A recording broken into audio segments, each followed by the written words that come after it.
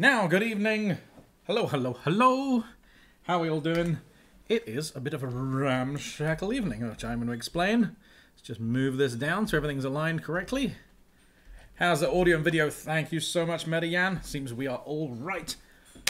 Oh, okay, so. Sorry to those who weren't able to make it tonight because I shifted the time last minute. What happened was, um, there was a screening of uh, 2001 A Space Odyssey um, down at a cinema near me, and I had said to someone, yes, I would love to go. Completely forgot about it, and then said, yes, we'll do the stream on Wednesday. And so, yes, I kind of double booked you. I'm very sorry about that. So I pushed the stream back one hour, and then I got back in time. But some other good news happened, which was Talespire, the Kickstarter I'm part of, has just crossed um, its final stretch goal. So we are very funded. Um, but we're also done with all of our stretch goals, so we now are funded to do the cyberpunk themed assets along with everything else, which is amazing. But it means I've spent the last hour just freaking out with the community over there, which is really cool. Uh, but yes, means I'm so, so, so unprepared for this evening. But it's still lovely to be here. It's lovely to be hanging out with you, and I see a good bunch of faces. Let's remember where the new Twitter UI, not Twitter, uh, Twitch UI is. And let's get nattering. Okay, so good evening to bug number 13, Darius Davex Unit Jace97. Oh, that's a name I do not know. Aaron Hat. Um, I'm so sorry, I'm going to butcher this. So it's Aaron Hattinaz. Aaron Hattinaz. Okay, if I'm saying that wrong, please let me know how to pronounce that. I'd love to get it eventually. Indigo, Silverbell, McCabe, uh, Median, Chimera, Skinny Seat Horse, Talal, Trash Talk, Tyke. Oh, Tycheline's a bot, but greetings anyway, bot person. V&K and Virgo Pros. Hello. All right. General greets out of the way. We are going to be looking at GPU occlusion culling, which is rather fun because it's something I'm considering using for work as well. Well, I just just this camera. I am so prepared. Um, so one of the things with Talespire, is I've just closed it. Uh, but one of the things with Talespire is we have very large, potentially very large boards, uh, and user-generated content. So people can just build stuff the way they like out of these tiles. And that means they can just stack things and make all kinds of ungodly things. They can put as much detail as they like in these areas, and then they could just replicate that and have whole towns. And then whenever you point the camera somewhere, we've got to render all that. And we want to obviously cut down as much as possible because that gets rather expensive. And it's not like in a traditional game, um, or sorry, in a non-user content generated game where you can, to a certain degree, pre-bake loads of information out, especially do with occlusion, um, and use that to at least speed up things at runtime. So we need something a little more dynamic, and so I wanted to look into this. Now, this technique does use instance rendering and compute shaders and multi-draw indirect. So we're looking at a slightly later version of GL, but for the cards that support it, it could provide a quite the boost. Hopefully, anyway, that's what we're going to start looking into. We're going to do a very simple version of this technique, and we're going to spread out from there. And um, I am going to check out the chat. Pond Pimp, it's very good to have you back. And... Oh yeah, the hair! I'd actually forgotten I'd shaved all that off. McCabe, yes, I have I have been trimmed. It's got um hotter than all of the balls over here, and um, that was too much, so it had to go. Plus, actually, I've been, I was I was ready for a change, so I've been I've been threatening my hair for a while with going, so now it's gone. Um, dun dun dun dun dun dun dun thank you so much for the Kickstarter. Congratulations. It is super exciting. It means we've got a job. And not only got a job, we get to do the things that we had on our kind of our biggest things on our wish list that were like, oh man, wouldn't it be cool if we are able to do this sometime? So that's really exciting. Um, is the volume of the stream a bit low? Um, it's possible. Let me just double check the inputs on Windows because they're it might have thrown them down again, which is a bit, always a bit annoying when it does that. Oh, I can tell you why, actually. I think it's using the um, cam mic instead of the um, the proper mic. One second. How do we set this as default? Um, but it's still got the phone next to that. Hmm. One second. Tell me if we lose audio now. Is this gone? Or are you still able to hear me? Because that's looking a little better on the mic levels, I think. Um, and let's check the levels here. They're at 94. Good. Not gone. Still on. All good. Hearing. Still hear you. Excellent. Okay, so I think that's as best as I can do from my end. So I will leave the rest to your volume controls. Okay, so let's get rid of some triplanar mapping stuff because as fun as that was, we're playing with something else now. We're going to come back to RenderDoc at some point. Uh, little graphs and things we had from last time. We were going to be looking at this. I think this was the example we're using. And so the general technique is going to be, we are going to draw a bunch of simplified um, assets. Uh, so for now, we're just going to use, we're, we're going to be drawing spheres. We're just going to use um, the same asset for both the um, depth um, buffer that we're creating and also what we're finally rendering. But later on, we can use a simplification. Like we have a tile like I keep on closing uh, the Kickstarter one, but it's actually quite a good example. Kickstarter TaleSpire spur. I can still type as well as I've ever been able to, which is poorly. Um, so we have many tiles, say like these corner pieces. Uh, we could simplify those to say a block and then use that, or we could simplify it to just the three bounding boxes that would make up uh, the simplified version of this shape. And then we could, obviously, we would then render the high-res version. But anyway, um, let's get back into here. So we're not going to do that. We're just going to write things out to um, the depth buffer. And then we're going to generate a MIP chain. So that's going to produce ever lower quality versions of that, ever lower resolution versions of that, I should say and then we're going to be able to query into each one of those depending on the size of the thing we're looking for occlusion uh, relating to. Um, we kind of went through this a lot last week, so I won't go through all of it now. But first thing we need to do is actually set up a scene. So let's start with that. So let's load up Slime. I, as you can see, I haven't even started Lisp yet because I am so ready. Great. Metayan, you're a star. Thanks for getting the link into the chat. Amazing. I'm so lucky. Every project I'm working on at the moment just has an incredible community around it, and I'm really grateful. Just, just good people. Um, okay, so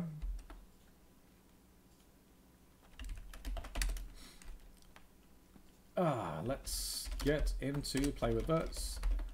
Let's start this. And this is our little scene that we were using for the um, triplanar mapping. As janky as it is, we're going to be replacing all of this. So we're going to just, let's just start with one mesh. Um, and we are, there's a primitives file.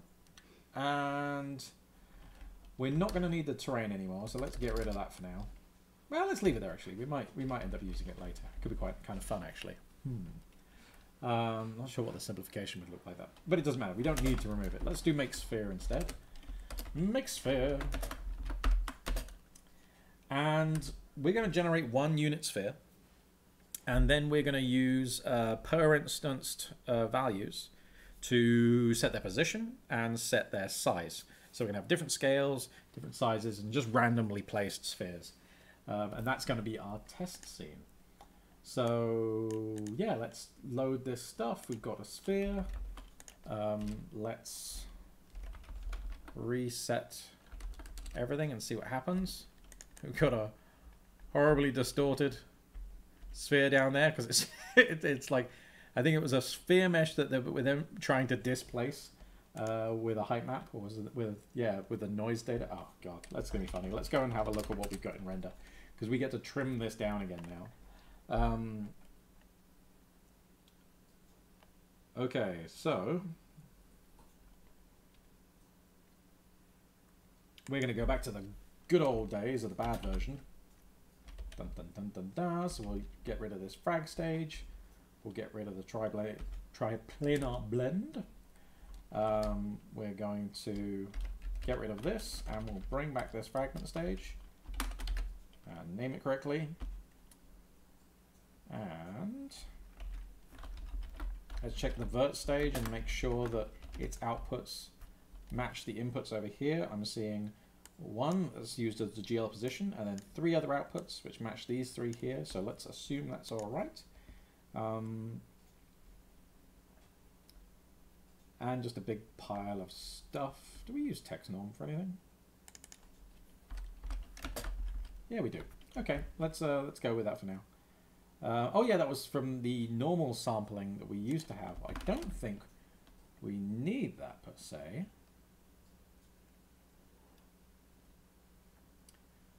Okay, so let's get rid of that. Let's get rid of sample offset because I don't think we need that anymore. I don't think we need the Y displacement. No, this is all getting, this is the get displacement stuff from our noise function. So let's get rid of that. So we don't need the 2D position. We don't need the Y displacement. Um, and we'll take uh, the normal from the object. Mean, I don't think we're bothering rotating them or anything like that. Won't matter, matter with the spheres right now. Um, so let's just let's just uh, take the normal from this, which we do with norm. Normal is norm of vert. And it's in object space, but again, because we're not transforming it, I don't think that's going to be a big problem for us right now. Symbol ydisp is not there. That is correct. Um, model pos 3 can now be changed to this. And we should be back with our sphere. That's looking a little more, a little more normal. Hardy -har.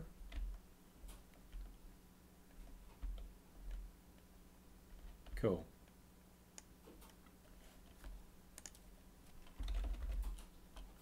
And it's got its traditional fragment shader now. So everything's kind of how we expected. All right. Groovy. So, what are we going to do now? Let's just um, commit this because we've got some changes that worth keeping. So back to just the sphere. Let's check the chat. What's going on? McCabe saying purple heart. You're a disco. You're a disco person right there. I can see you. Um, let's start consing. Indeed, all the memory is going away. Garbage collection freezes for the win. Right. Um, yeah, we got to have the PHP fanboys. They're amazing. Michael, yes. we needed a we needed a sphere for the uh, for this um for this episode, so everything had to go. Um, so let's push that, otherwise Metian will not be pleased and will not grace us with his links. So that's gone. Let's generate that um, per instance data that we're interested in. So let's get back to base. And let's just make a function, just foo, because I don't know what I'm doing tonight. Um, and what are we going to need? We will want, let's have a little struct per, um, for each instance, we need some data.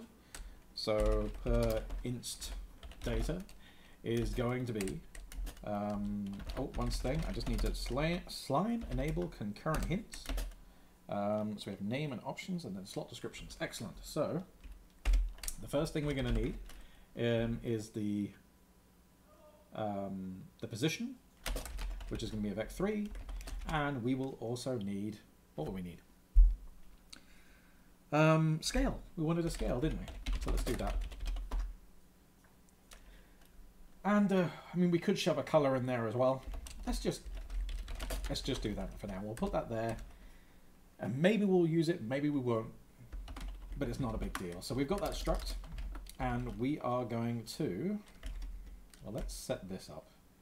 Um, we are going to need some data. So, how do we do this? Um, you know what actually might be nice? Let's just um, make the GPU array, and then we'll map it to a C array so it's local, and then we'll just do a loop and just write data into it, because that'll be nice and easy. So, um, pib for our per instance buffer or per instance array. Pia There's going to be make GPU array. Uh, initial contents nil. Um, dimensions are going to be interesting. Let's have maybe a thousand spheres. Um, and the element type, which we'll bring down to the next line, is going to be the per instance data. That's cool. Um, and then let's do uh, with GPU array as C array. And the temp name is going to be CRG, CR. And then Pia, which is the GPU array, the access type we don't care about because it's a sensible default. And we're going to go down here. And we're going to loop for i below, below 1000. Now we've got 1000 in two places, which is a bit gross. So let's go um, count is going to be 1000. And we'll just do count here, count here. Let's go do setf. Um, and then um, oops, for lm equals arefc of that C array at i. Okay, so that's going to grab the element, and now we're going to set data into it. So it is going to be uh, per its data pass. We haven't made accesses for it, so we're just going to do the full names of um, C array. And we're going to set this to a random position. Let's see what's going on. Common of him saying I'm afraid for the Twitch servers right now. 24 viewers. I know, it's big big numbers. Not just for us, but for the world. Um, yeah, the TaleSpire servers have got... They have been busy. Second Commander, is everything quieting down a bit in general now? Hopefully, like, it's... We can just breathe out, we can relax. Um, Darius won't be. TaleSpire won't ever be as good as the pizza shooter we did. It's true. It's true. When you peaked, you peaked. I'm just here, you know, to kind of while away my days until I just, you know, the merciful embrace of death will take me. Um, okay, so let's. so let's have a random position, random from. Um, so yeah, let's uh, anything within 200 um, minus 100. Right, so we get a load of spheres. Cool. And uh, let's put that down there. And we'll do... Per instance data scale of the C array. Oh, it's not of that though, is it? It's not C array, it's element. And this is going to be a random number um, up to 3 plus 0.5. I think that's fine. So hopefully that will run through. And then at the end, we are going to set setf, and let's have some per-inst data up here. Per-inst data, um, which is nil for now because it's GPU data and it's not gonna it's not gonna be happy if we try and initialize it in a def var because we don't know what thread that's gonna happen on um, for reasons which we'll probably talk about another time, or at least we can explain why it's unknown. Um, okay, so let's send this to be yeah. Um, let's do that outside so we know that the GPU array work has finished, the uploading is done, and then we will push this to here, except, yeah, that's right, yes. We've set that. I used the word push and confused myself. And that's it. I think that's all we need to do there, um, other than test it. Uh, so let's call this reset um, per inst data.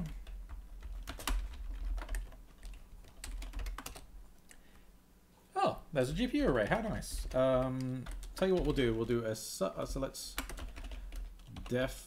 Actually, seeing as that worked, that should be in the per inst data thing. Hurrah! Um, and then let's um, take a subsection of this, but a subsection of a GPU array, subseq G.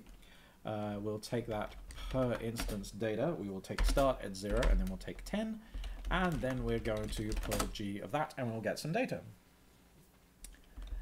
Um, what we should see is that this last one is going to be garbage. This will be all over the place. Um, the third one, because this is that color, and we didn't initialize the color, so we're just getting whatever was in memory at the time. Um, and then we should have a random position here between um, minus 100 and 100 in all dimensions, which looks like what we've got. And we have a random value between 0.5 and 3.5, which again, looks like we've got. So I think we've set that up okay. Um, ding! I saw a ding! I saw a ding! It worked! Some of you guys have to make me that bell. Or maybe that's... You know what? There is a Lisp that runs on the Arduino, right? And I've got some Arduinos in the basement for sure. Maybe we do that some week. We actually make the bell so you can ring it to get my attention. I think we'd only we'd have to have like only moderators can ring it because otherwise this whole stream's gonna be the fucking bell going off. Um, okay, so let's let's uh, let's see what's going on here. I am dazzled by all the parentheses. Um, okay, he was saying he's missed it again. He never sees my true identity. That's true. That is true. Certainly a Discord person. Oh, it's it's Alex. Of course, it's Alex. Sorry, Matt. I don't know what's going on. Um. Oh, and you said it again down here. That's great. Uh, I am I am on the balls. Right. Uh, da, da, da, especially when trying to focus on code. Yeah, it's fine. I, I love the Twitch chat. It's it's uh it's great. Yeah, we'll do some Arduino hacking. That sounds perfect.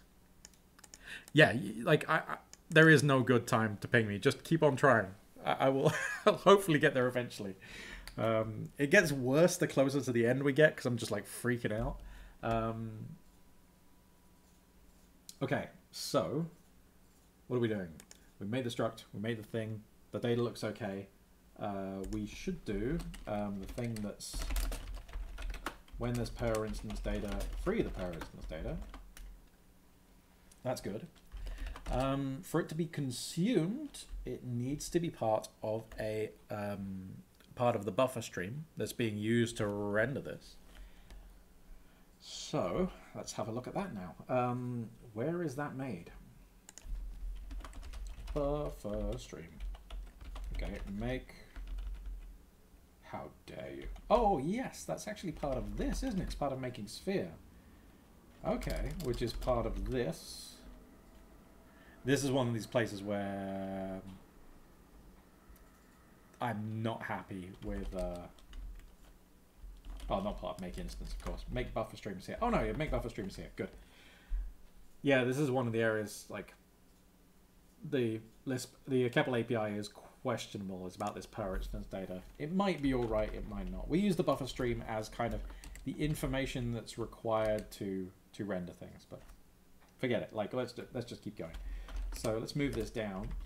So now there's going to be two things that this buffer stream contains. It contains the vertex data, but we also need to contain the per inst data.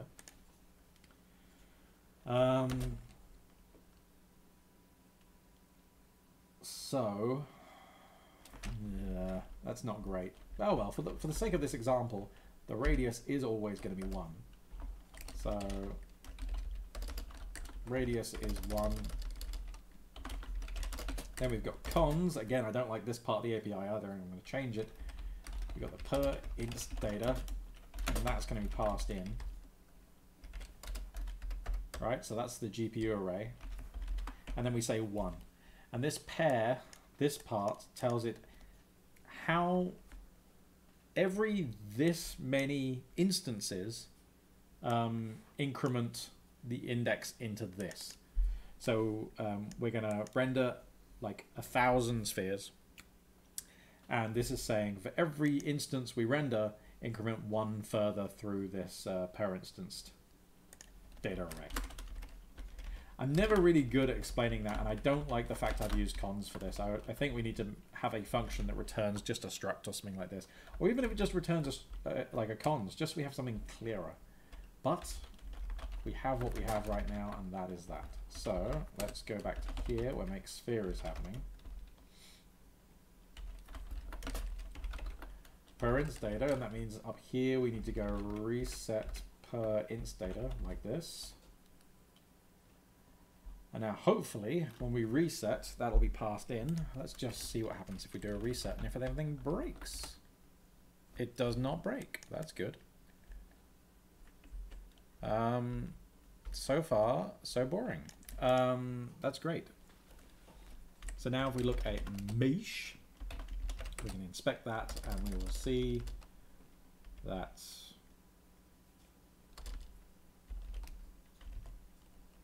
Wait a second. So we've got... Oh no! Yeah.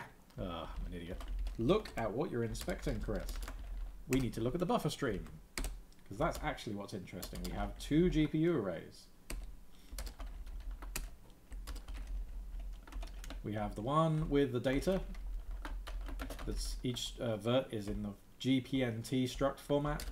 And the other one is of type per inst data and is a thousand of them and it's cons one, so it's one per every instance.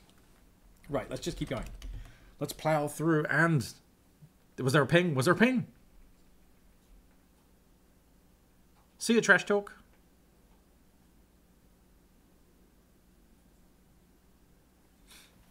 Oh, bad Wi-Fi. That's a shame. Um, okay, so what are we doing? Right, now we need to render a load of stuff. So down here, let's forget all this render normal stuff. We don't need that. Um, we're gonna not, we'll do cull face, that makes sense. When mesh with slots, speed stream, render the thing. Cool, that's great. Now we're gonna say, uh, with instances, and a thousand of them, render. So now we're actually rendering a thousand spheres, but we can't tell yet. Um, and so we need to modify our shaders to take advantage of this.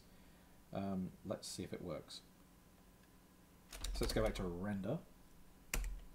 Um, and there's actually an interesting thing. This struct that we're using, this per inst one, I'm going to move that into this file because we're going to need it around when we compile these um, GPU functions. Um, so yeah, data is going to be of type per data. Let's compile that.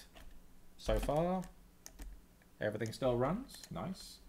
Um, and now the idea is that we... Ah, yes, we're not going to be using this model to world matrix anymore. Um, we're just going to offset it.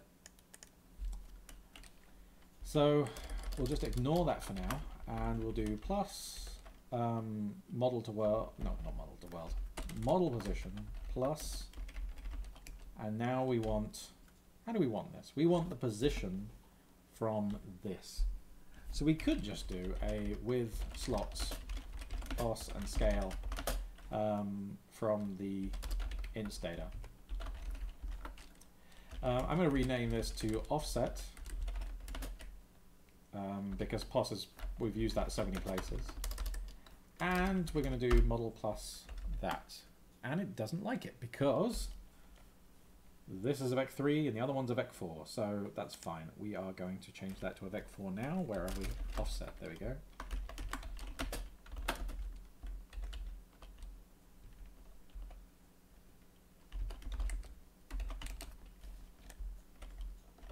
Okay. Why do we not see anything here? So the model position has one in its W component, so we stick zero in ours because we don't want to affect that anymore. But we do want to add the offset to the XYZ portion of this, so that should have worked. Um, and then the rest is just normal. So I would have thought that was okay. assuming that other data is being read correctly. Um, everything recompiled, all right?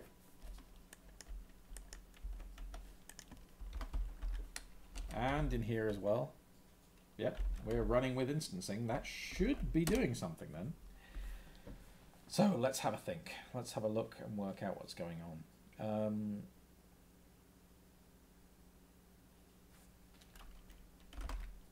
check the obvious stuff. When we're making the sphere, we definitely passed in the per instance data. When we reset, it definitely was. You know, there was a GPU array with a thousand things going in. That's cool. Um, so far, no errors, but maybe that will be a silent failure, so that'll be interesting. Um,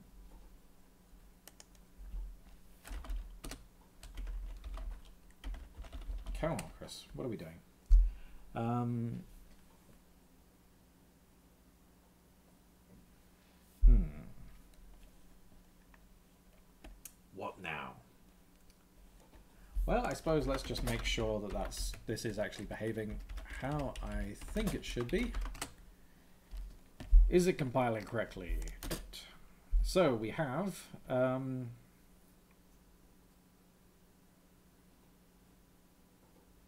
we're missing some stuff. Of course we are. Wait a second. I've changed the signature up here, but I haven't told the pipeline which one we're using. So we're actually still using the older version. And now it's working because we're telling it to use the right GPU function.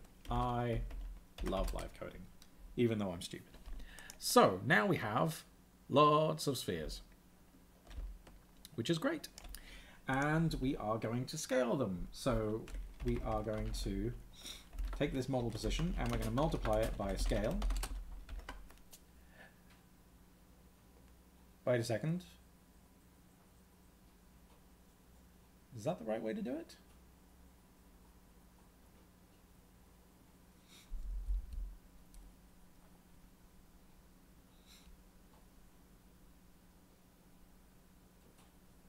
Oh no, I know why, because when we're multiplying by scale, we're multiplying this as well. So let's take this out of here and put it up where it belongs, which is here. So we'll do multiplied by scale. That's a bit better. So it's a little hard to tell because size might look like things are close or far away or things like this. Let's see if we can get down to a tiny one that's near. it's actually really hard with perspective. Okay, these two are really close to each other and they're clearly a different size. So that'll be alright. We should make that scale difference more, and we should pack these things a little closer together so we can get a bit more occlusion going on because we need that for our test. So, back to base, scale, and it's going to be random of, uh, let's try 9. And we'll do a reset. Well, there's definitely more occlusion going on now. Yeah, this looks good, actually. So we'll definitely have cases where we can like move in close here and you can see almost none of the other spheres and everything behind this one is being occluded. There's all kinds of things being occluded now. This will be a good a good start for our test. Nice. Okay, so we've got instant spheres. Um, Metacat saying push, read your mind, even before the ding. Um, made a nice screensaver. Yes, for 1992. That's what I use the technology of today for. Making things that would have looked eh, 20 years ago. Right. Um, okay. Right. So we've got this. And so we actually need to start doing the um, part of the occlusion techniques. The way we're going to do this for now, because so we don't have to think too much, is we're actually going to make this um, into a square and we are going to um, yeah and then, like uh, we'll, we'll we'll make it into probably a power two well we'll make it into a square at least and then we'll think about power two as well. Um,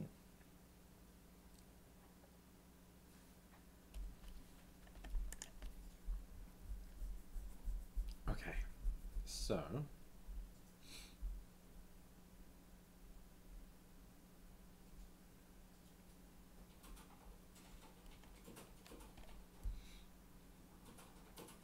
do, do. Actually, let, us just, we'll be even lazier. Let's pick a specific resolution and go with that.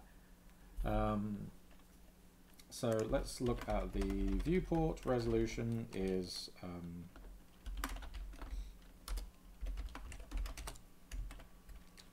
yeah, so what if we swapped this out and just said 512 by 512? There you go. It's a little off my screen, um, but it's better than going down to half of that. Darius is saying, by the way, your last stream on YouTube is only one... Is that one hour 15 long or one minute 15 long? Oh, for fuck's sake. What happened there then? That's really weird. So there could be a number of reasons for that. Let's check the disk space on my main machine. Free space, free space is 35 megabytes. Oh, okay, so I guess we've lost this episode as well. Thank you. That's very frustrating, though. Um, Christ and the cracker. Um,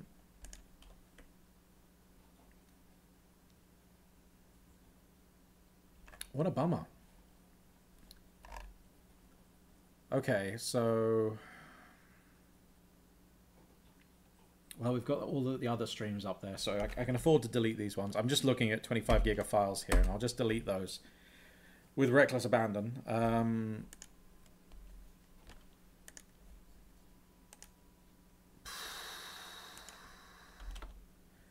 we can get okay so we can get last week's episode from twitch and we can get this week's episode from twitch it'll be stored there so i'll take those um, and i'll download them yeah then or i'll just push them to youtube okay so that is that's fine. That's really good to know. Thank you so much. Um, I'll have to put out apologies for that as well. That's okay. There's only like 20 of us. It'll be all right. 24. 24 people. Um, that's sorry. Now I've just disrespected all the ones who watch on YouTube. Sorry. God, that's really annoying. All right. Okay. So 512 by 512. Uh, def var. Uh,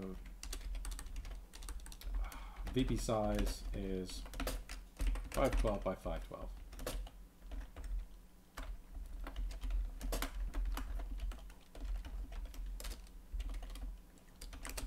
Let's do that then.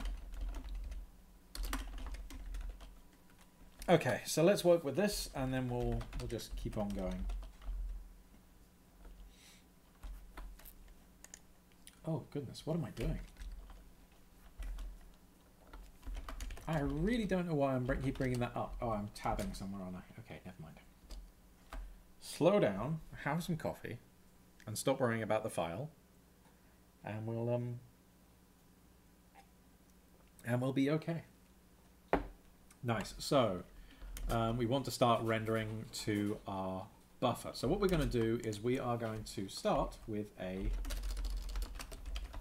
um, what do they call this? That's the interesting thing. Is this an occlusion map? I keep on trying to tab over to the other window, but I've got I've been dealing with Windows for a while, so I'm muscle memory is all wrong. Okay, so they call this the occlusion buffer. I think. Render the depth of all main occluders to the occlusion buffer. Great, that's what we're going to call it too. Um, so the occlusion buffer is going to start off as nil. And we're going to go work out what it needs to be. So we're going to make a texture which has no initial contents, um, has the dimensions which come from um, VP size. That's going to be interesting. Can we use...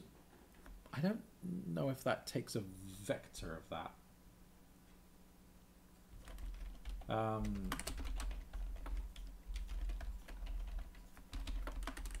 Let's just do this.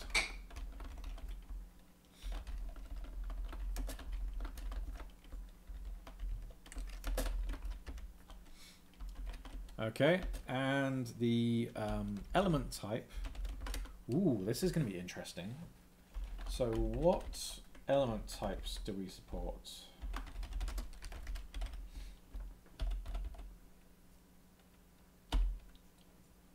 Um, it's going to be one of the image formats.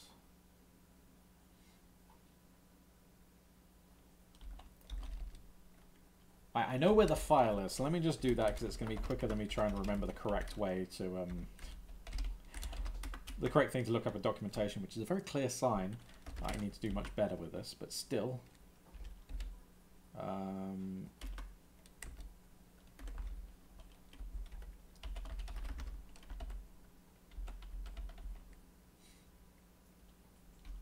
So do we just use a depth like format? Or do we go just use float? Or what is it? Let's have a look. They're using a depth stencil view, which is interesting because I don't think they use the stencil portion of it. Um, I mean, it's probably a, would be a depth 24 stencil 8, but I don't really know. Let's start with depth component 40, like 24, and um, and go from there. This is interesting as well. Um,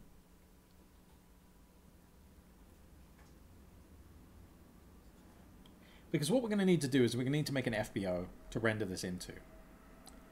But if we make an FBO, it's very easy for us to get a um, depth thing in anyway. Let's have a look at that. Make FBO uh, with D, um, and we just need to set the dimensions to be, um, let's just do this. Do, do, do. VP size list. What happens if I do that? Okay, error parsing arguments to destructuring bind. Oh, another case where I've got a bad um,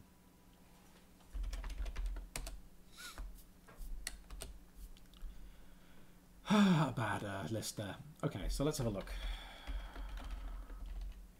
Oh yes, of course, I remember why. Okay, so we have a depth, an FBO there with a depth attachment. The depth array is of depth component 24 type, and the dimensions are 512 by 512. Yeah. Okay, so I think that's how we're going to make this. Um, we're going to have an occlusion buffer FBO. Um, and we are going to, let's make a function down here. defun reset occlusion buffer. Um, let's just free that one we've already got there. Free! Um, setf um, occlusion buffer FBO to this FBO. And then we're going to setf the occlusion buffer itself to calling texref. No, not texref. Wait a second. We want to get the attachment from occlusion buffer FBO, and we want the depth attachment. So we'll just do that. And let's just free the old stuff. So when there is an occlusion buffer, buffer, buffer FBO, we can say free um, occlusion buffer FBO uh, and free occlusion buffer like that. Let's try that. Reset um, occlusion buffer. It did something. Uh, so then occlusion buffer has the GPU array, occlusion buffer FBO has that. I see things moving over in chat, so I will be there momentarily. Let's just get this into the code so it's going to work with reset. If I could just stop typing the wrong thing. Who knows what is possible? Okay, so we've got an FBO, uh, still referenced, uh, still a reference to thing vert stage uh, GPNT in the current version. Oh, in render, really?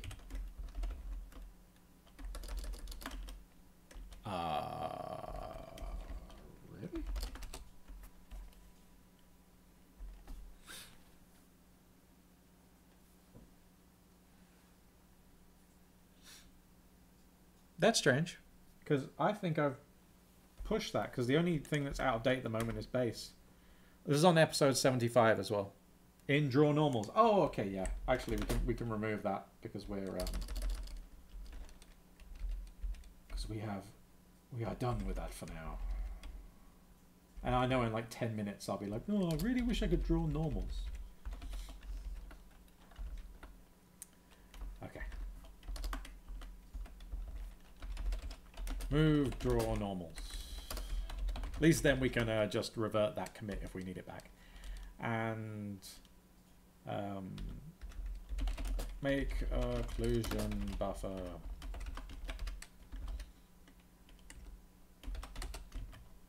Okay, we made that a bit small, didn't we? Alright. So, back to base. What are we going to do with that? We are going to render everything into it. I guess that's it. Um, one important part here is the only thing we actually need to do is render in the depth information. We're not doing any pixel output. So I think what we can do is we can definitely, and definitely you can do it in DirectX, is just elide the fragment shader and just let it write the depth information. I think that's the same in OpenGL. Let's just try it. If we get something that looks reasonable, hooray. And if not, we'll go explore and see what there is to do. And we shall start by um, going down to where we do the rendering. And we will say with FBO, FBO bound, sorry. And it's the occlusion buffer FBO. And we may need to tell it which attachment to use for size because we don't have an attachment otherwise. Attachment for size is D. Um, I think that's fine. Let's do that. What happens now? Of course, nothing is visible on the screen because it should all be written into that FBO. And we're going to see if it was. So as frame, now we can do draw text, which is a helper function from Nineveh. And we are going to draw the, um, well, let's have a little occlusion buffer sampler. So that'll be handy.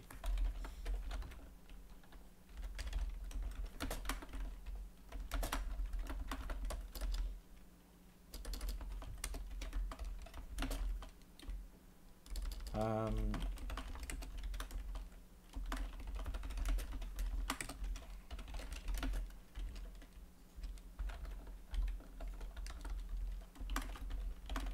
let's see if this works. Tempted to sample, but is it only legal to sample textures? Of course. Thank you very much. That is correct. Um, so let's just say continue. And we want to sample the um,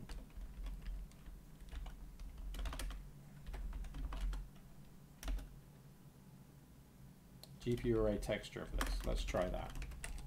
That looks a little better. Cool. So now make the occlusion buffer sampler. And it's it's almost it's completely invisible in yours. Uh, which is kind of annoying, and I don't have a way to... Oh no, there is a color scale. Hurrah, let's have a look.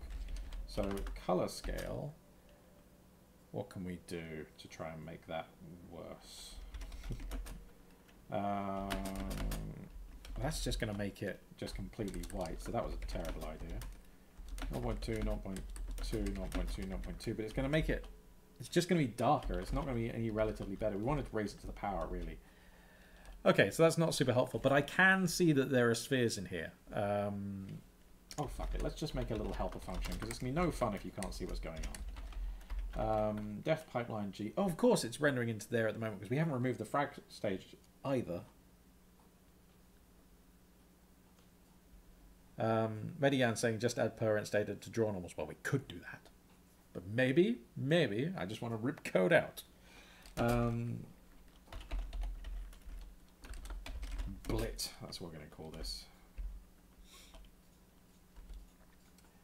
And what's Blit going to do? It's going to have a vertex um, stage, which is... Actually, we can just write this. Just say blitvert, um, blitfrag, defun, and these are both going to take vec2. Vec2 back to. It might be today that we're mainly setting things up, but we'll see how it goes. Ah, no, we're not even an hour in yet. This is fine. Defun Blitvert. Um, that should be defun G, of course. UV is vec2. Texture, need a uniform. SAM, which is a sampler, 2D. Sure, let's do that actually, and just do SAM at UV. Bam, that's fine. This one is vert, and it's a vec2.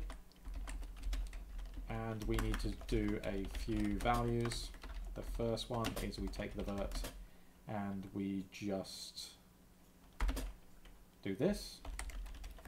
And then to turn it into a UV, um, we just need to remap it.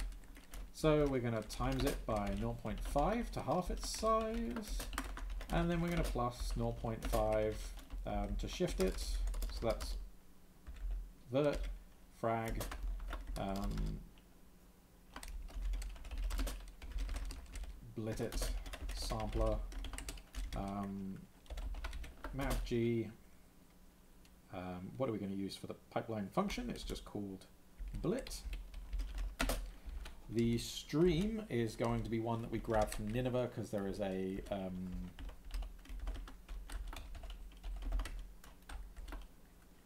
what's it called? Nineveh. Um, oh, come on, where is it? Quad. I know it's in here. Get quad stream v2. That's what I want. Get quad stream v2. That's going to be our helper one. And then Sam is going to be our sampler. And hopefully now we can go back to base. And instead of draw text we can do blit it and it's going to be kind of the same except it draws a little bigger that's fine. And uh, let's just let's see what happens if we just raise this to the power of 2 rubbish can we not do that with uh, oh yeah you just can't just do that with uh, with that fine Okay, so we'll take the x and we'll raise that to a power of 2. Okay, let's raise it to the power of 5. Let's raise it to the power of 10. And hopefully, you're beginning to see a lot of spheres back there.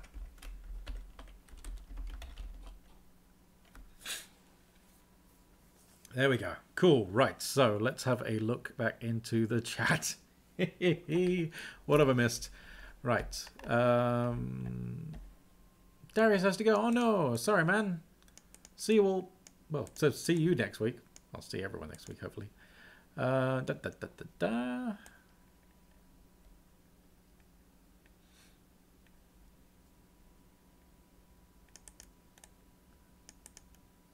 Jason's back. Hello. Okay, so this is the um, this is the occlusion buffer. We've got some depth information now. Hoorah! And we've got our silly thing here, which is going to make it a little easier to see this depth stuff on the stream. Um, that's great. I would love to get the color like depth shit fixed in OBS. We did before, then it went wrong again, so I don't. But it's not what we need to worry about now. What we do need to worry about is we need to create the hierarchical Z MIP chain, which basically means we're downscaling this in a certain way and we're doing it one at a time. So we downscale it and we get a new texture, then we downscale that, we get a new texture. And this apparently is the function.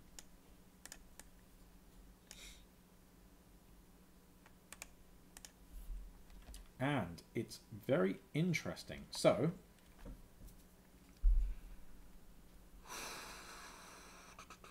This high Z MIP chain could also be used in other contexts, for example, speeding up volumetric fog calculations, screen space reflections, etc. That's good to know. I'm using a compute shader to do the downsampling, although I don't expect a particular advantage in doing so. We're going to use FBOs and, and fragment shaders just because it's very easy for us to set up. We're going to be getting to compute soon, and at that point, we're going to have to do some reading and some poking around for examples because I haven't done compute in quite a while. And I haven't done things serious in it, I don't think. No, it's been. Yeah, this will be the first decent project I'm doing in Compute, I think. But it won't be bad. It's all fun stuff. Okay, so I'm using a compute shader to do the downsampling, uh, blah, blah, blah. If you, in your downsampling shader, in each step, you can use either four texture reads or a gather operation, which will return four depths with one read. Now that is very interesting. What is the equivalent to gather in GLSL? Go. I'll copy this over, and uh, then we'll then we'll find out. We'll see if you beat me um, in finding out. Let's just shove this up here.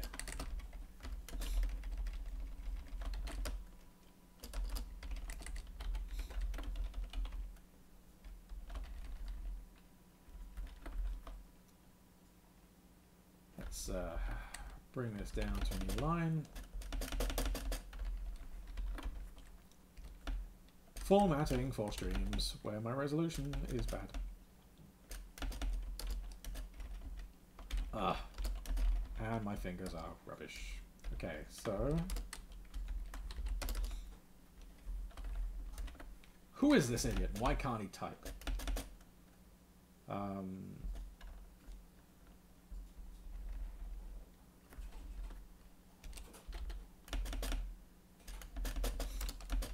okay, let's just chill out and have a look at what we've got here. That's deceptive formatting. That's how it should be. Okay, so push with the blitz. Sure, I can do that.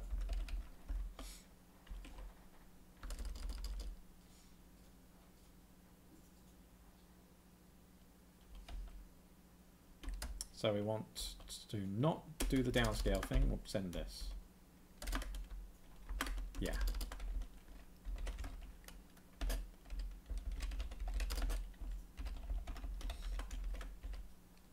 That's great.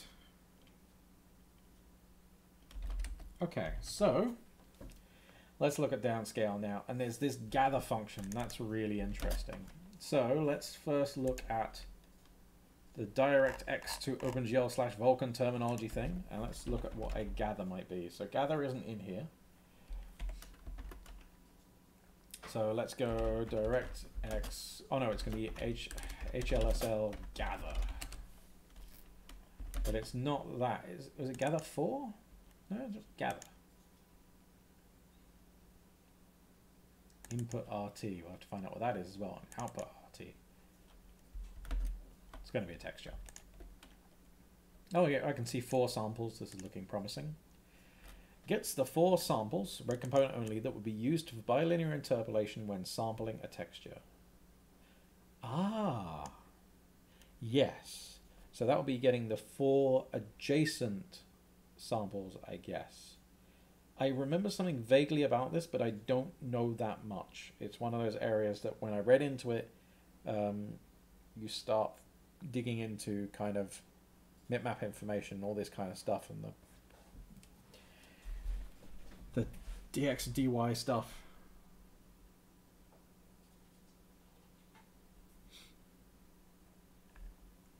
Cool.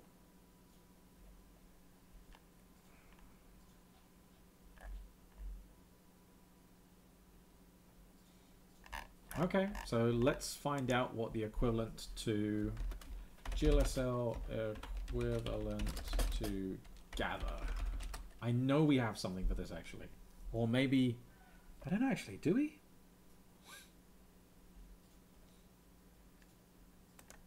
Oh,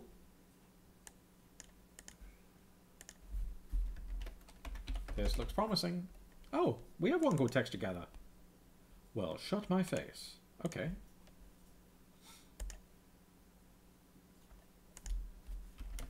And then, of course, we just want to check that I haven't been crap. Texture Gather. Control VV. Of course we have it in Varjo. Hooray! And here's the documentation.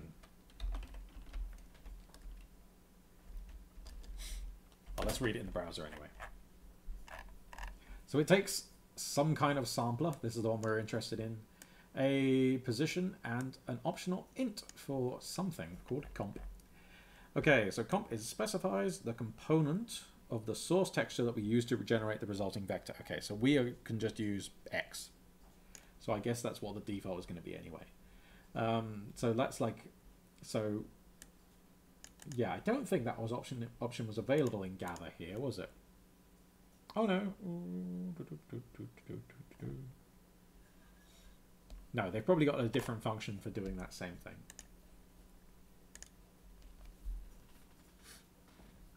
Oh, Medigan on the ball with that. Oh, wait a second. Was this from Anteru?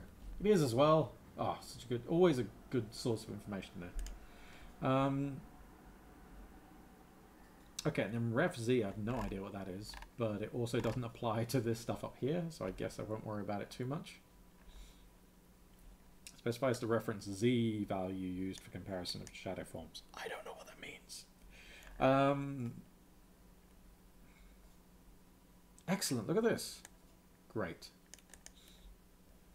Okay, specifies the sampler to which the texture from which texels will be retrieved is bound.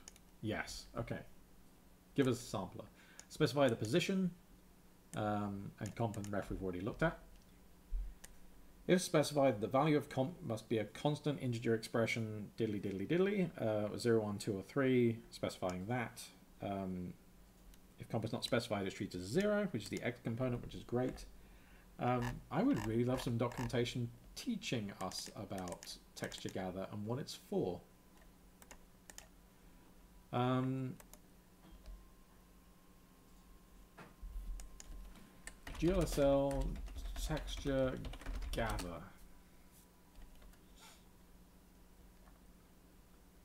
Yes, the bilinear filtering stuff.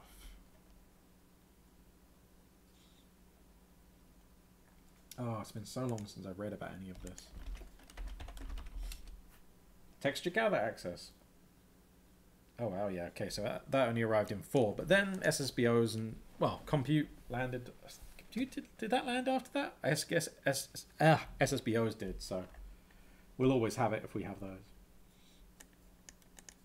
While OpenGL standard filtering abilities are useful, sometimes it's useful to be able to bypass filtering altogether. In order to do that for textures, that are two-dimensional, you must fetch values from the four texels nearest the given texture coordinates. OpenGL provides you the following function to do this.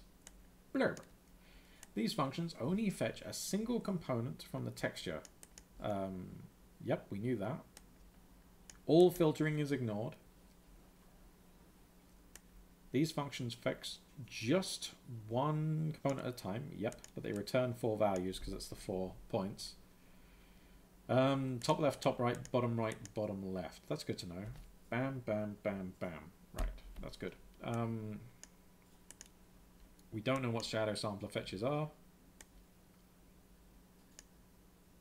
I remember shadow being a like an image format, I think. Yeah, that's going to be some stuff in there. The offset versions apply to pixel offset of the texture coordinates before doing the fetch in the same way that standard offset texture functions texture uh, offer oh gather offsets is different in that each of the four texel fetch locations has its own offset. Wow, okay.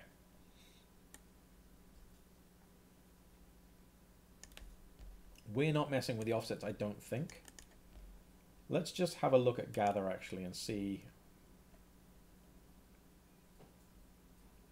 They have the sampler and the texture object. Apparently you have to have both.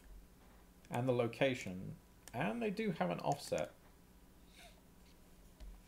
But are they using it in our little case over here?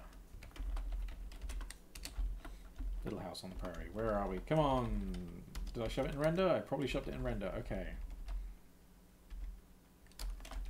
So no, they're using two arguments, which is just the... Oh no, shut my face. Okay, let's have a look. Input rt.gather.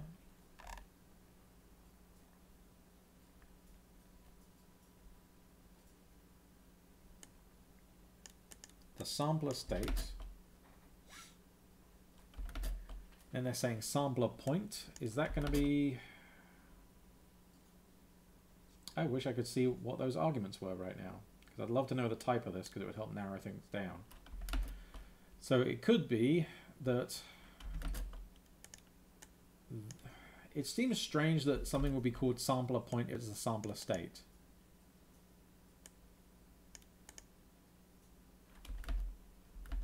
So that feels more like it's going to be location, which would mean this would be offset.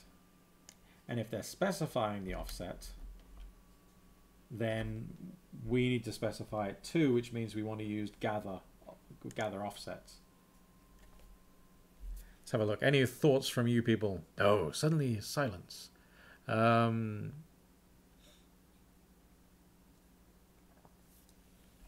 Bug number 13 was asking a while ago, is there a standard CL library for serializing data? I've used Conspack a lot in the past, but is there a better one? Actually, I don't know. Um, I would love to hear some input on that as well. I'm sure Shinmera has some um, opinions there.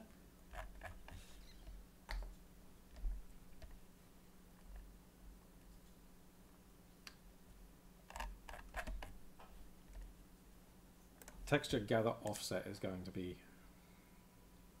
probably what we need to use. In fact, I'm currently guessing it is what we need to use.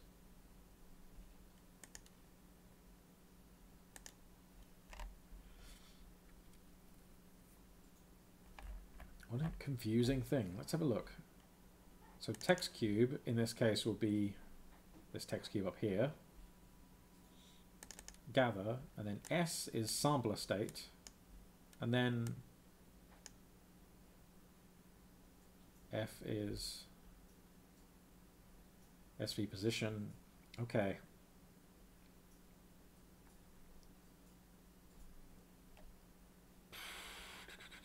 What is a sampler state? That's what I need to know.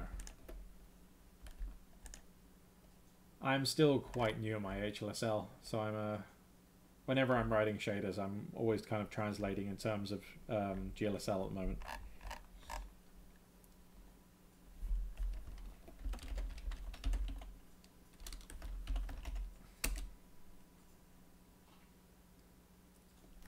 Okay, so this is talking about the sampling parameters. Okay, so this is what we set outside on sampler objects in OpenGL. Um, they actually specify an HLSL. Okay, well that's fair, but um, mildly confusing. So here, if you've got three arguments, it seems that's when you're using the offset. So okay, sampler point may just be simple sample state data then, and this is just the position. Um,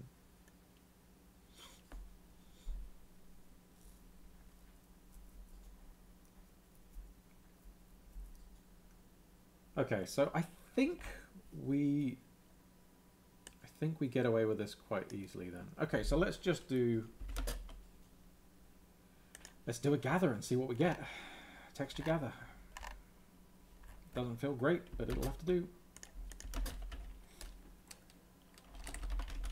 Defun G, uh, downscale.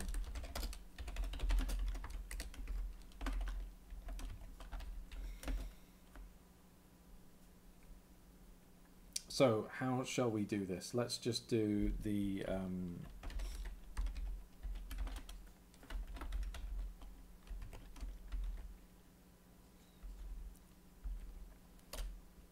Not GL position, sorry. What's it? What is the um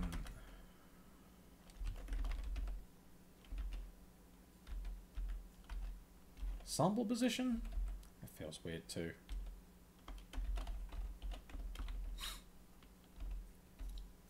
GL frag call, that sounds familiar. But that's going to be in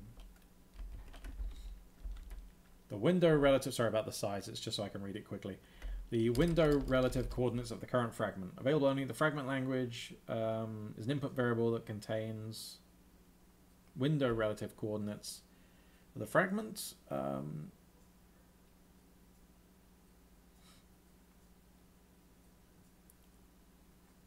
okay, so then we'd have to divide it by the size of um, the texture, I suppose. We're sampling in the right place unless texture gather works like um, text fetch, which I would imagine it doesn't though. We're just gonna have to play with it and see. Um,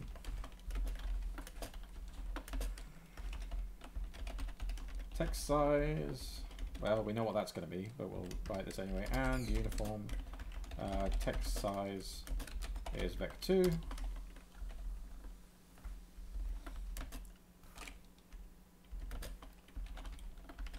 And Sam is going to be our sampler 2D. so, let's depths. Come on, Chris. Not enough coffee. It's probably too much booze from the celebration earlier as well. I can love that every week I make excuses for the typing. Like anyone's going to believe I'm not just bad at typing. Even me. It's just dumb. Um, okay, so that's for every point we're, we're sampling at those positions. Find out and return the max depth. So that is, all oh right, well that's very simple, isn't it? We can just get rid of this and do Um, yeah, let's drop this back actually. Okay. Max of max of x of depths and y of depths and um, max of z of depths and w of oops w of depths. Okay, GL frag coord is undefined, but in fragment, it will be defined, but there is no applicable method of GLSL function divide when divided by a vector. That's absolutely correct. So let's swizzle that out, and uh, we should be okay. Um,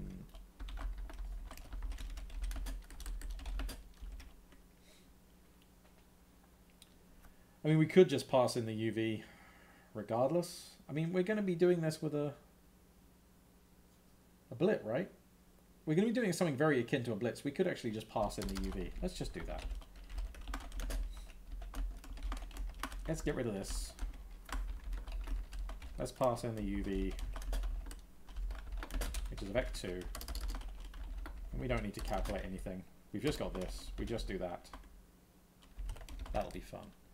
Um, and we we'll, we can probably test this. So um, I guess let's go and try just call this function straight from the REPL, uh, which CEPL has some support to do. So then if we if we just say 0.5, 0.5 is going to be our UV, and SAM is going to be our um, occlusion buffer sampler, we get some information. Uh, so it's 0.94. Apparently that's what it is. Um, we would have to test this some other way, but at least we're getting a result back. And let's try different numbers and see that we get something different. So 0 0.1, 0 0.1, 0 0.99. That's interesting.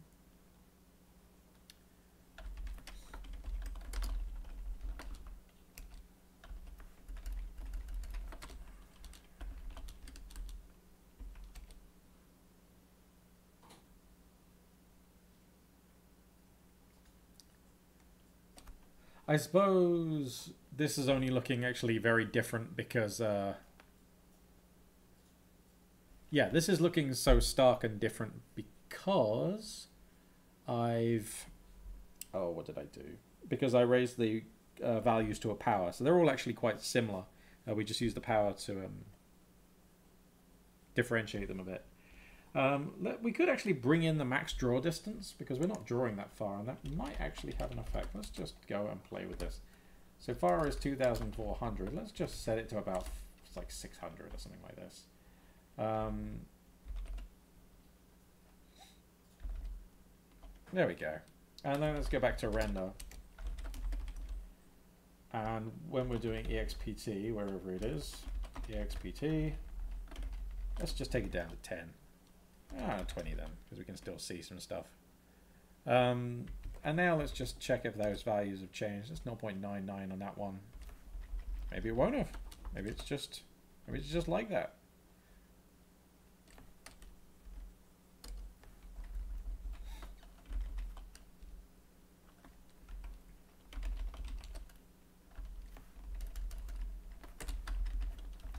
I was expecting a bit more variation, but Maybe that's just what we deal with right now. Fine, let's... I'm not going to sweat it because there's clearly not there's clearly enough stuff that I don't understand that I'm not able to make sense of the values I'm getting back. So let's we'll roll forward and then we'll have to address all of these at the same time. Okay, so where is our uh, experiment stuff here? Okay, So what we need to do is uh, do the downscaling now four times. That bit's easy. We're going to start off with the same thing as blit. In fact, we can just use the blitvert function. So let's take this and um, downscale it is going to take a sampler. Um, get the quad stream, we get the sampler, we I think that's it, isn't it? We need a new pipeline, of course, for the blit. Oh, I just felt myself flag. Okay, so downscale pipeline. Um, it's blitvert and then it's downscale. Just taking a vec2. Yes, that's correct. Do this. Downscale it. And we'll go into base and instead of doing um, blit it, we'll say downscale it. And I can see the faint circles again, which means that bit is working, but you won't. Um, and that's okay.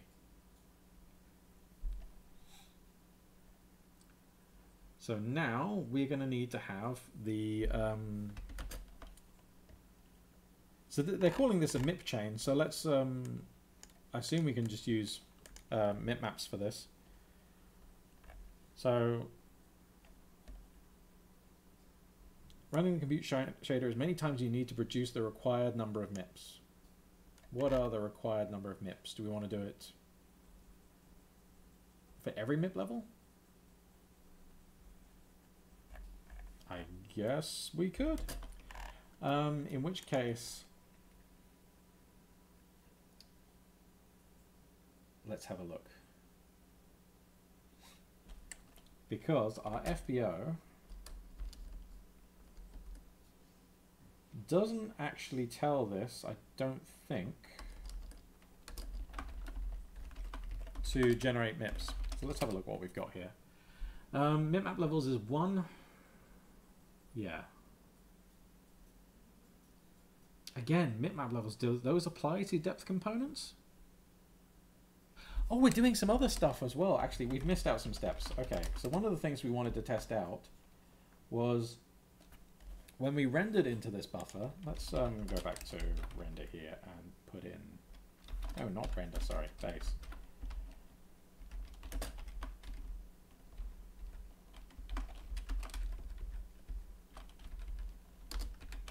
Ah.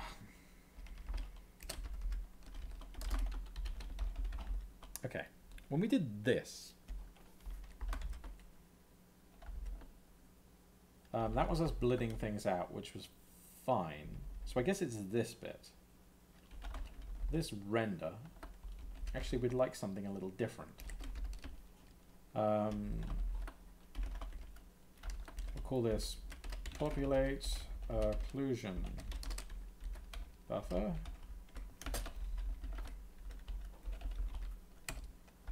That's actually what we want to be doing.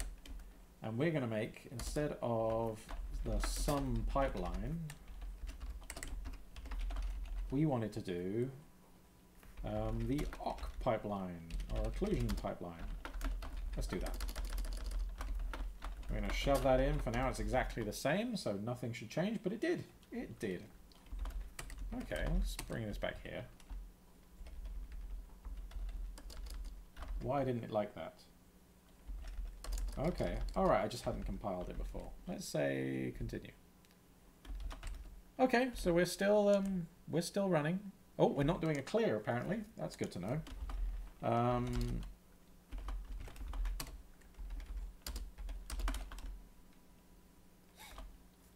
Okay, so let's do um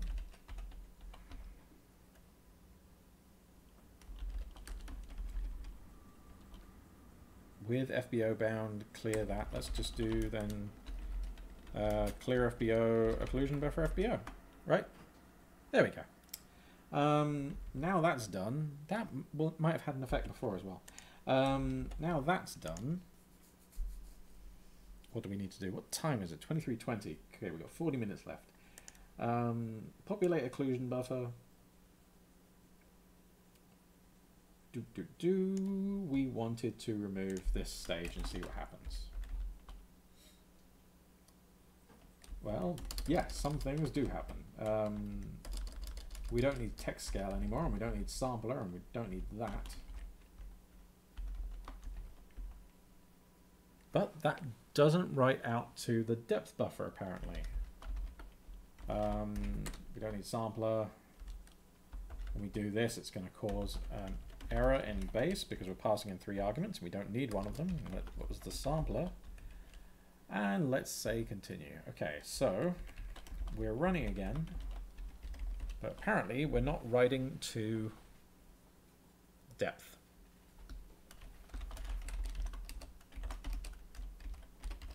Let's pull G um, uh, occlusion pipeline. And we can see that we've just got a vertex stage. And if we compile with just a vertex stage, it will have told it, it will have disabled fragment rendering. So if we go in here, this will be a um, disable. Yeah, so there's like the rasterizer discard is here. When it doesn't have a fragment stage, rasterizer discard. Um,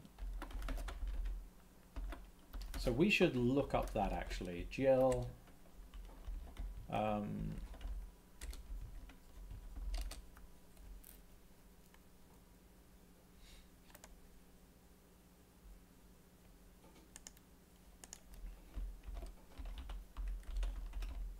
okay, let's see what's going on in chat though.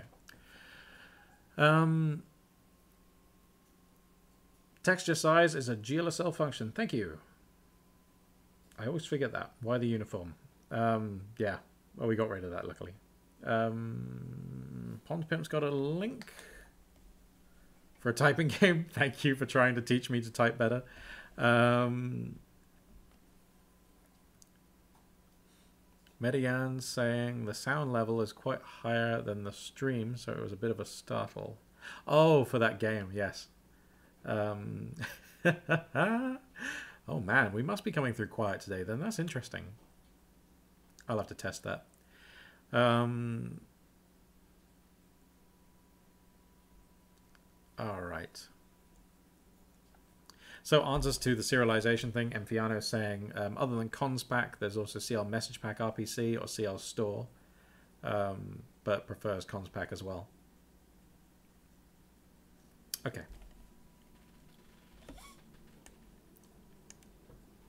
if enabled, primitives are discarded immediately before the rasterization stage, but after the optional transform feedback stage. That actually sounds like the wrong thing to do then, because we don't want to discard...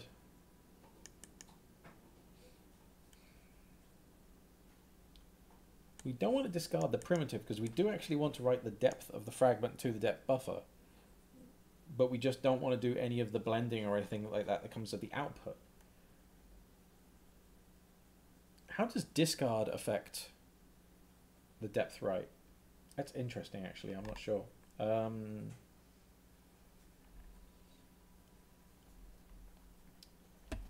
uh, let's say OpenGL uh, shader without uh, fragment stage. Let's just see what comes up.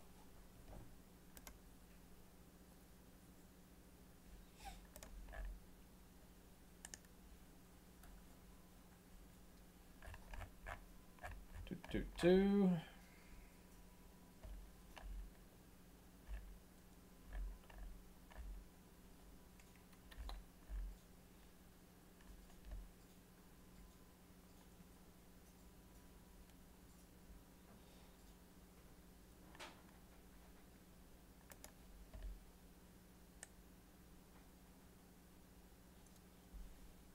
So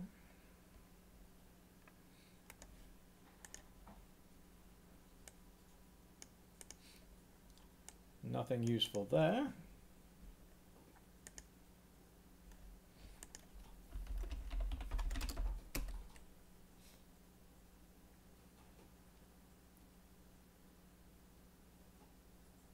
So vertex post-processing, does a transform feedback, primitive clipping, perspective divide.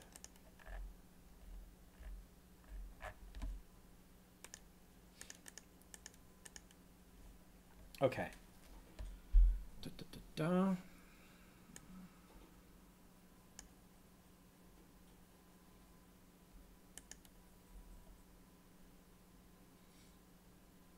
Just scanning through this now to see if there's anything.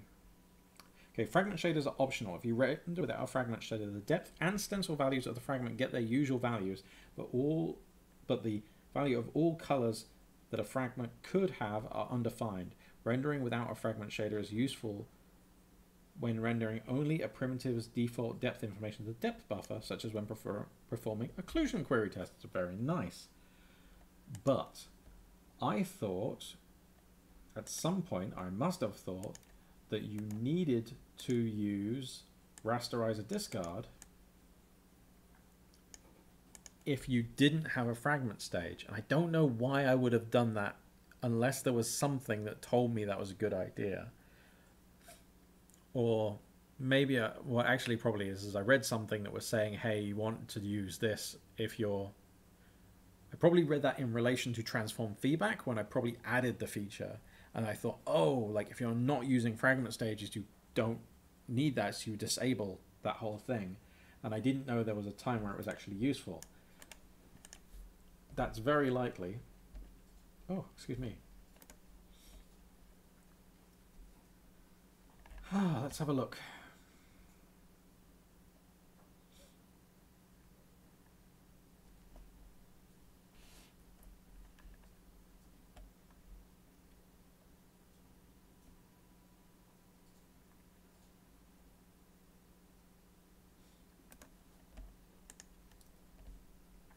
Okay, transform feedback without a frame buffer. Blah, blah, blah. Um, ah, cool.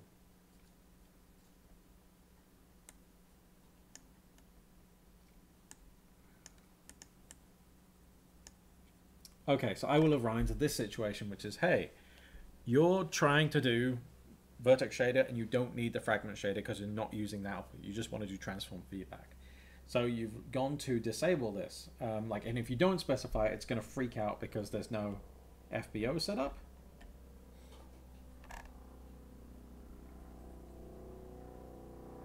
Oh, that's, oh, GL check frame buffer status. Wait a second. Let's have a look at this. Core specification.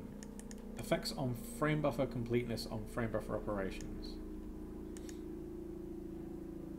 Okay, so they're just not frame buffer complete.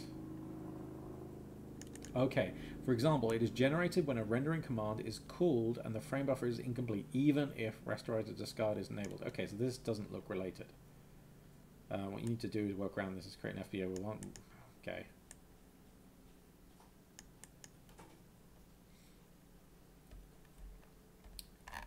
Interesting, but I don't think that's quite what I was after. Yes, I think I just had a case where I didn't want to have to have an FBO. I didn't want to affect an FBO. In it, like, I, yeah, I didn't want to write anything out to a buffer. And the only way to do that was to disable, um, was to enable rasterizer discard. But that's now bitten us in the bum. Okay, so this is just me being short-sighted when setting up this API. So at the moment, anytime there's not a fragment stage, it's going to do rasterizer discard. Luckily, this is just an optimization for us at the moment, so that is a bug. So let's go on to CEPL issues and file yet another one. I'm so looking forward to getting back to work on um, on CEPL and stuff like this on the regular. Um, so CEPL always enables rasterizer. Well, let's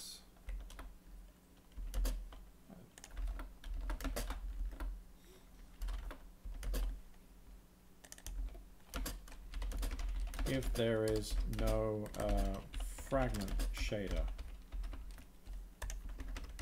This is wrong, as it can be very useful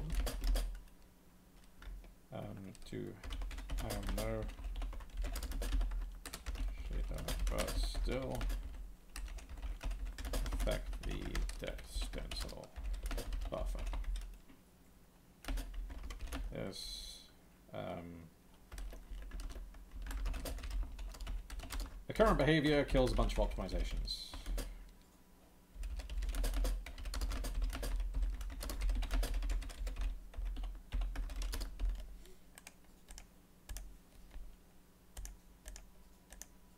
and bug, and I'll get to that soon. So for now, at least we found out what that was. That's good. So it's just me being a dummy.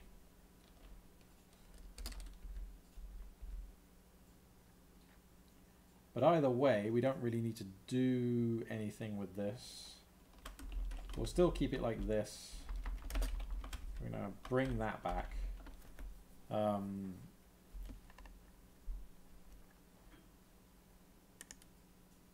Okay, so I suppose for now, what do we do? What do we do? No, I suppose for now we can we can bring all of this back.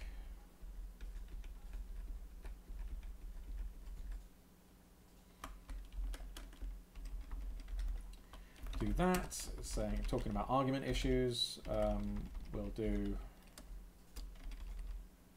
Yeah, that's back to normal now. Oh, I'm losing my words. Okay.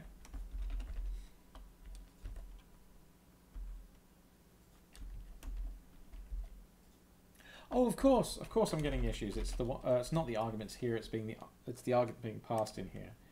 Um,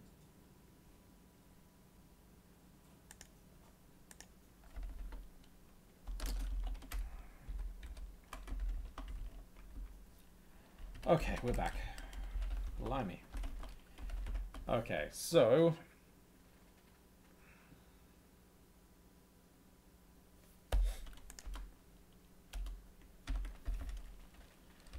Change file plane.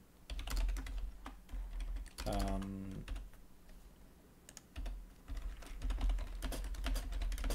on downscale.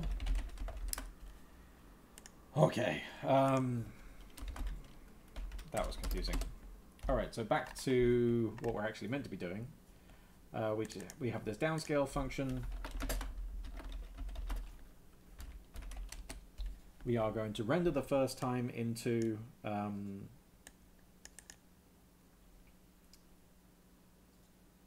the occlusion buffer. And then outside of with instances, we're going to have to... How do we want to do this? Do we make one FBO for each attachment? I suppose that's a very easy way of doing it. Um, 2333. Man, I'm flagging. Um, yeah, so we can make a few FBOs. Oh, we've still got other questions we haven't answered yet, which is to do with MIP mapping and depth attachments. OpenGL MIP map depth attachment. Does that... That doesn't sound right to me. Um,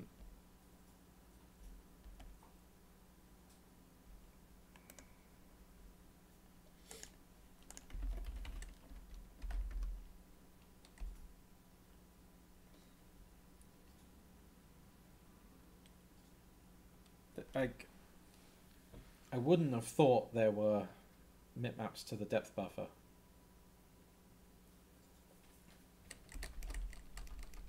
But if not, that means we need to use, um, then we need to change how our FBO is set up. So at the moment, we've created an FBO with a depth buffer, and we're looking at it here. But what we could do is we can make a color attachment. Can a color attachment just hold the depth? I mean, I suppose we could use floats, and that will be fine. Um, but I'm not sure what is allowed, to be honest. Let's have a look at GL frame buffer texture 2D. This is just where, outside of my knowledge,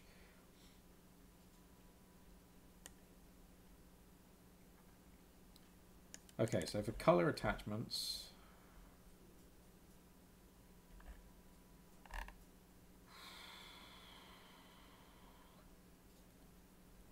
what are the valid things?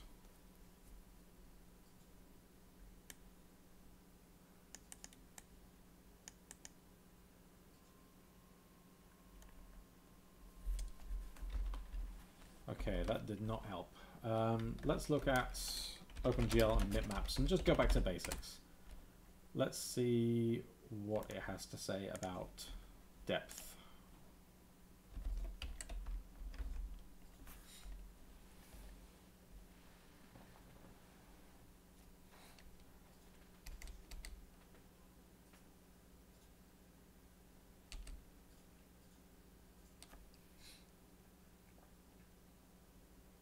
Stencil texturing.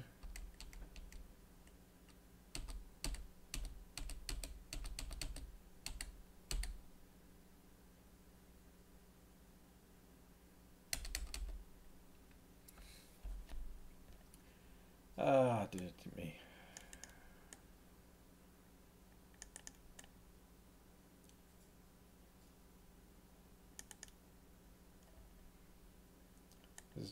Filtering between mipmaps and being complete.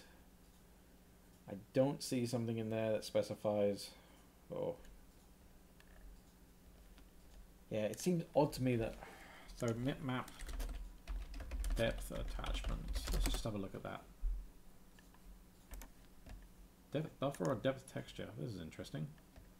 Um, oh no, they're talking about render buffers here. That's a different thing. Um,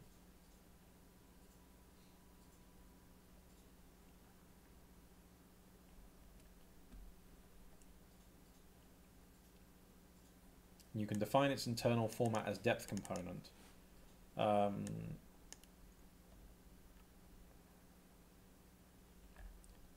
yeah, so I guess what they're actually meaning is that our color attachment should be using depth component as the element type, and then we'll have mipmaps on that. Let's just see what that looks like. Let's, let's just try and make that here. Um, I hope I haven't um, made another bug in CEPL that means this won't make sense. But uh, element type uh, will be depth component 24. Um, we're going to do mipmap t and generate mipmaps. I mean, we don't need to. Uh, must specify dimensions. Of course, we will. Um, dimensions is in this case is what do we call it VP size. There we go. Actually, that works. Interesting. All right. It's a lot of MIP levels as well. I guess we're going to have to do it that many times. That's interesting. I don't know how many MIP levels we realistically need. Uh, but we for this, well, let's just do a chain of, of 10. Um, let's see what's going on. Okay, regarding stream sound, it gets better when you get come close to the camera just saying. Okay. Starting PWV, but playing with that's fresh now, gives a screen of flickering. Interesting. That also sounds... So I've introduced some bugs there. So what I'll do probably is uh, shortly after the stream, I'll have to fix that up. Or maybe maybe we'll fix it up on stream because I'm very aware right now that I am like as of about 15 minutes ago, my brain has really started shutting off and I'm just very tired. So I think I might call the stream off early, but what we can do before then is just try and get this into a state where um, we can start again without any issues. And uh, yeah, let's find out what's going on. Let's find out what's going on. That's a better use of our time right now because I'm just a bit, a bit dead after today's happenings. Uh, well, that's silly. We don't need that.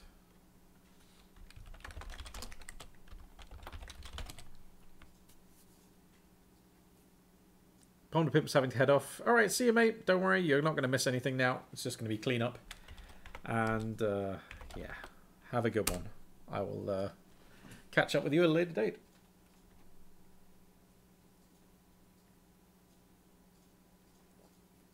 Oh, dearie me.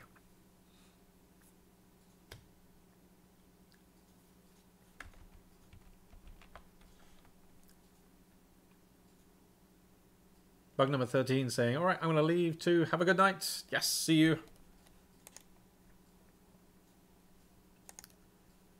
Um, okay, so this is complaining about some stuff. Let's see what it is.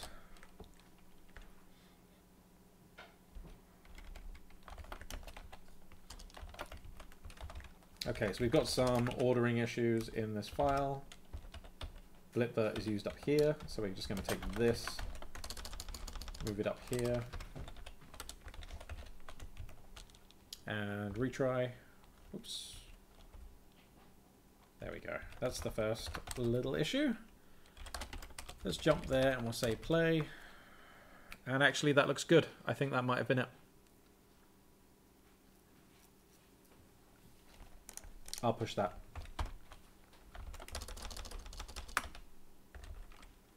Uh, fix startup.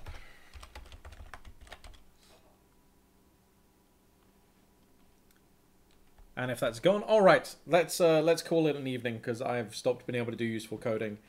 Thank you so much for coming by. Um, what we're going to do next week is we are going to just carry on with this. We're going to try and get a deeper understanding of what the gather stuff is doing. We'll get the downsampling done, and then we can get on to compute, which is going to be a lot of fun.